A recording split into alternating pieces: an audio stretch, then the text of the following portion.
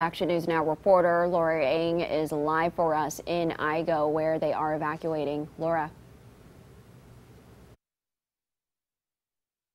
Now, where it has been evacuated for quite some time, it's an area of about 600 people at least, according to the PIO.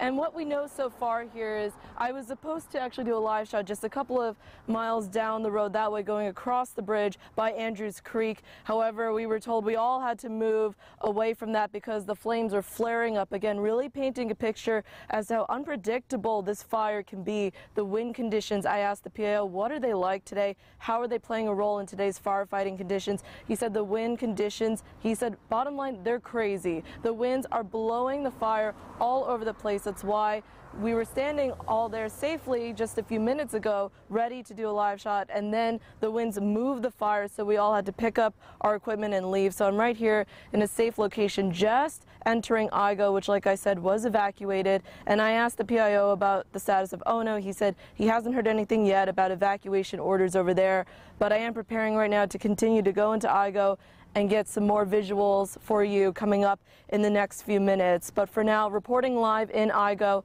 Laura Eng, Action News Now. Laura, Thank you, Laura. Thank you. Well,